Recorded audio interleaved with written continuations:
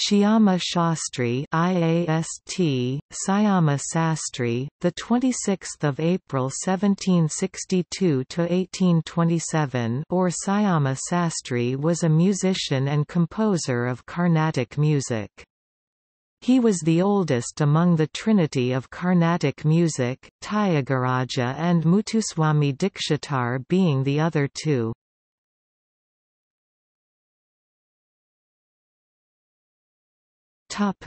Early life and career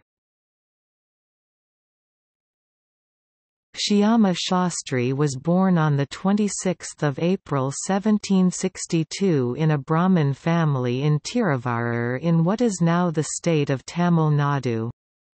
He received his instruction in the Vedas, astrology, and other traditional subjects early on and learned music from his maternal uncle. He was later trained in music by Adiyappayya, a noted Durbar musician of Thanjavur. Although Syama Sastri did not compose as so many kritis as his two prolific contemporaries, his compositions are still well known due to the literary, melodic, and rhythmic proficiency observed in them. It is said that he composed about 300 pieces in all. He did not have many disciples to propagate his compositions, nor was the printing press widely accessible during his time. More importantly, the scholarly nature of his compositions made them more appealing to the learned than to the lay. His compositions are far fewer in number than Tyagaraja or Dikshita. Additionally, they feature a more formal form of Telugu which borrows heavily from Sanskrit. In contrast, Tyagaraja composes in this form of Telugu but also resorts to a more colloquial dialect to which Shyama Shastri does not. There are also a number of krithis in Tamil attributed to him. Most of his compositions propitiate the goddess Kamakshi. He composed kritis, varnas and svarajatis with the Ankita or mudra signature Syama Krishna.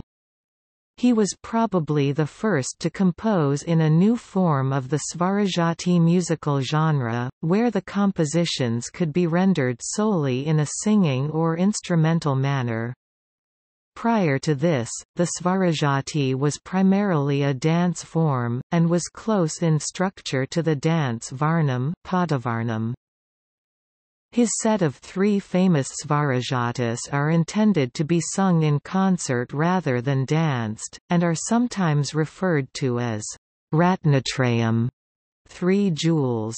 They are Kamakshi Anudinamu, Kamakshi Padugame, and Rave Himagiri Kumari, composed in the ragas Bhairavi, Yadukula Kamboji and Todi respectively. The former two are set to Misra Kapu Tala, while the third is set to Adi Tala. He was known for his ability to compose in the most complex of talas. He was also widely revered for his voice and singing ability during his time.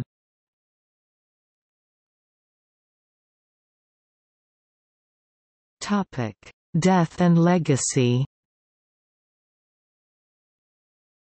Shyama Shastri died in Thanjavur in 1827. He had two sons, Panju Shastri and Subbaraya Shastri.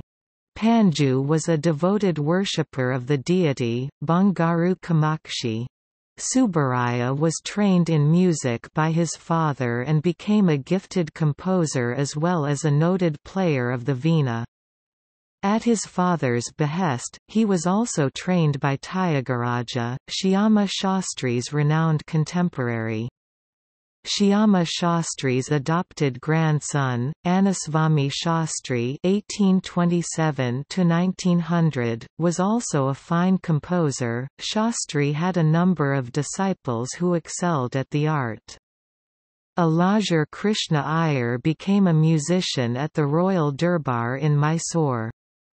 Porumbar Krishna Iyer popularized many of his guru's works.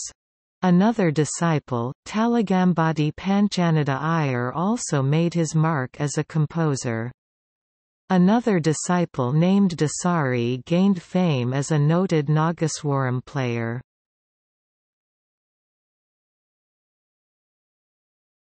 Topic: Compositions. The below sections mention some of his compositions.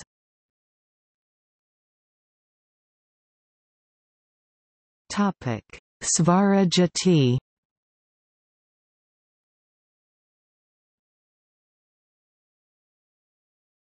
Topic: Kriti.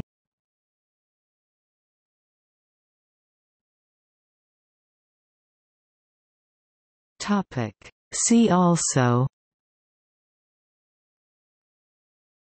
List of Carnatic composers.